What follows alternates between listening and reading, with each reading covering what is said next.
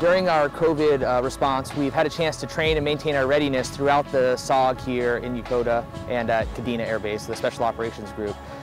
But we haven't been able to do a lot of the integration exercises that we've been able to do normally under, under normal circumstances. So Gryphon Jet gives us the opportunity to travel within Japan from base to base and train with our mission partners across both the, uh, the different services and with, uh, with other special operations units here in Japan so we can really get the, the full effect of training with the, the MC-130s, the CV-22s, our special tactics, naval special warfare, and uh, the other teams that we work with here in the Indo-PACOM AOR.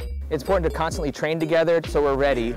Special Operations remains the ready force to uh, answer our nation's call, whatever, whatever they need us to do in the area. Again, whether that's personnel recovery, whether that's contingency response, some disaster emergency. We have a lot of allies, a lot of people in the region that depend on us to remain ready at all times. So it's really important we get together and train together and you know, nothing's going to stop us when it comes to uh, getting together and working together even though uh, even though we've had some restrictions uh, imposed on us as we as bases have had different readinesses with their health protection conditions, uh, we remain ready and uh, and able to work together and just integrate seamlessly as we always do across the globe.